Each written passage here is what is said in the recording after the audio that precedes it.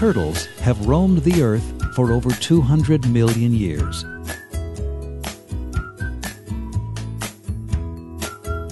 Turtles are an essential part of Ontario's biodiversity.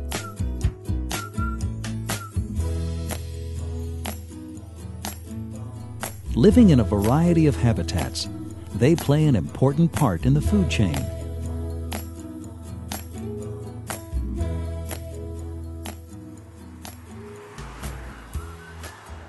Unfortunately, Ontario's turtles are in jeopardy. In fact, seven of the eight species of turtles in Ontario are species at risk, their numbers dwindling away towards extinction.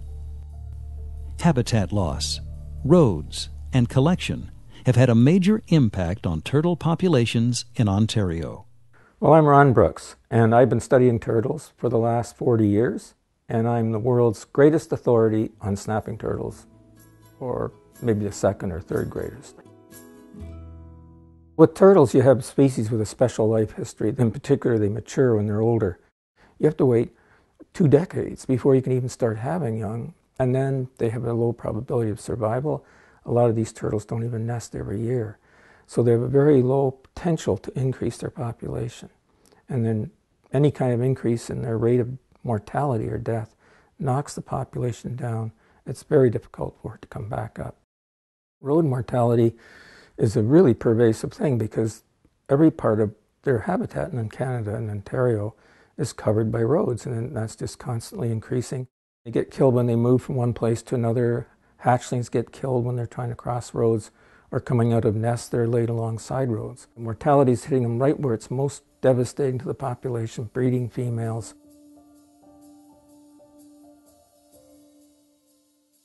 Even in Algonquin Park, turtles are at risk from roads and collection. To give an example from Algonquin Park, which is a big protected area, but there's a big highway running through it, and that highway is a lot of high speed traffic on it. And what we found was looking at painted turtles, if we looked at the turtle populations we had that were a few kilometers from the highway and compared their annual rate of survival to those that are closer to the highway, it's much higher when they're further from the highway. So the turtles close to the highway had about a 30% greater chance of being killed in a given year by being run over or possibly occasionally being picked up by people. But the highway itself represented this problem for them, and it particularly was true for females.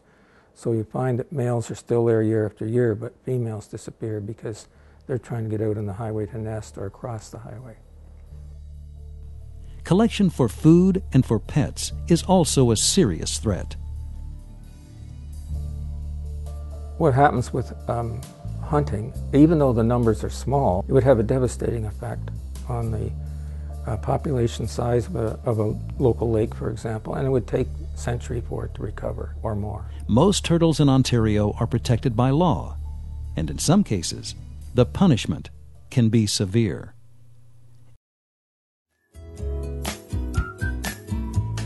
In Ontario, many dedicated professionals are working to save turtles through protection of habitat, research,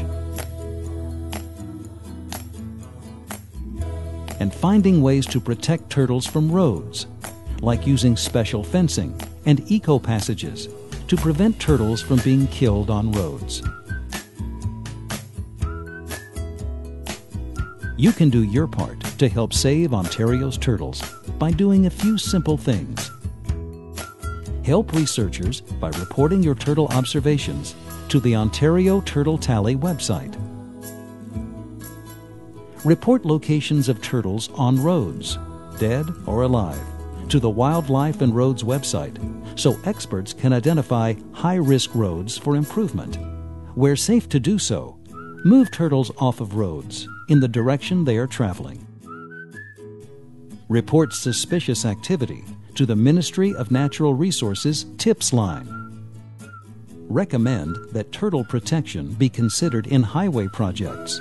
Most projects are posted on the Environmental Registry.